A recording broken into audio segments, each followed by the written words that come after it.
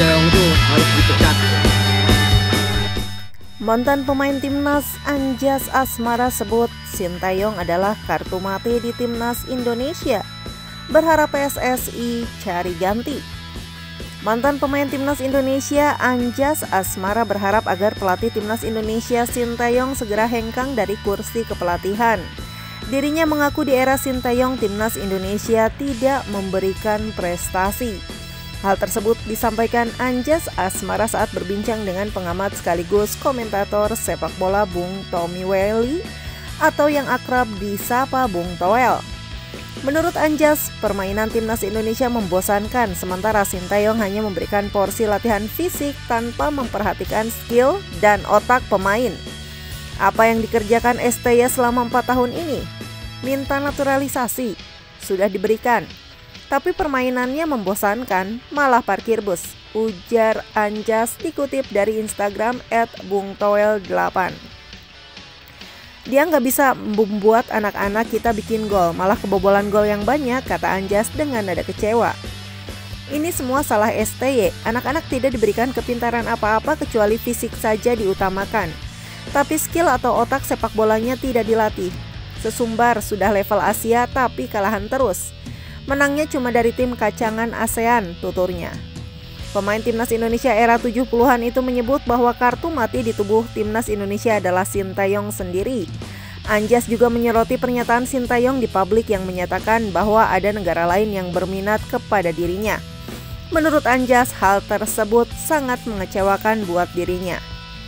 Bagi saya, STY ini sudah kartu mati, kata pemain yang pernah mencetak gol ke gawang Uruguay pada tahun 1974 itu. Omongannya nggak bisa dipegang, banyak bersilat lidah kayak aktor-aktor drama, media juga sepertinya diatur-atur agar dia tetap eksis. Main iklan terus, keluar-keluar di media bahwa ada timnas negara lain yang memintanya, ujarnya. Sebagai mantan pemain, Anjas mengaku kecewa dengan Sintayong. Dirinya berharap agar PSSI segera mencari pelatih pengganti yang benar-benar mampu membawa Indonesia berprestasi. Sebagai mantan pemain timnas, saya kecewa dengan pat gulipatnya STY. Cukup sudah, jangan mau dibodoh-bodohi lagi. Segera saja PSSI cari pelatih lain yang benar-benar mampu melatih timnas dan bukan yang sibuk main iklan saja, ujar Anjas Asmara.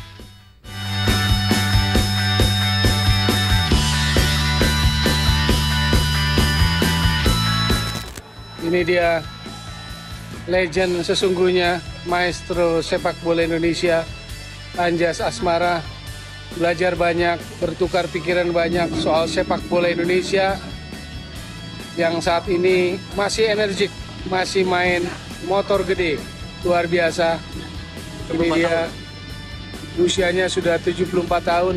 Legenda Persija dan juga timnas Indonesia tahun 70-an Anjas Asmara. Hidup PSSI panjang umur Bang, panjang umur senior, luar biasa, tetap perhatian buat sepak bola Indonesia, supaya Indonesia... Kenapa kita tidak bisa? Harus bisa. Harus bisa ya Bang? Oke, makasih Toel. Oke, sama-sama. Sukses, sehat juga Bang. Oke, Bang Anjas senior nih, saya lagi sama Bang Anjas pagi-pagi luar biasa, masih energik masih main motor gede. Bang, pertanyaan Bang soal polemik Sinteyong belakangan ini. Coba komentarnya apa Bang? Sinteyong itu harus dipecat.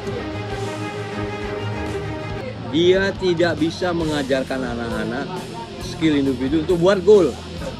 Kita kebobolan dan kita tidak hanya melihat bola saja, tidak melihat uh, manuvernya orang. Apa yang direkomendasikan dari Justin itu Justin ini pemain bola bukan? Ketemu sama saya. Jadi itu salah besar.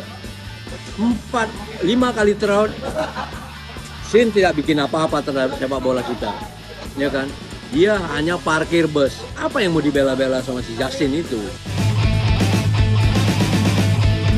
Itu aja komentar saya tentang Justin. Justin kok ketemu aku?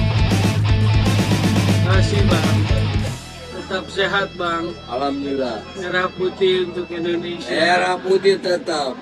Kita mau Indonesia maju kok. Kalian lihat tadi malam Iran sama Jepang main. Kapan kita main seperti itu? Ya kan? Semua tim yang main petarung semua. Kita mesti seperti itu. Iya. Semoga bisa berkembang lebih baik, Bang. Lebih baik. Sehat-sehat. Ya. Nanti kita Oh. ngobrol lebih panjang lagi, Bang. Oke, siap.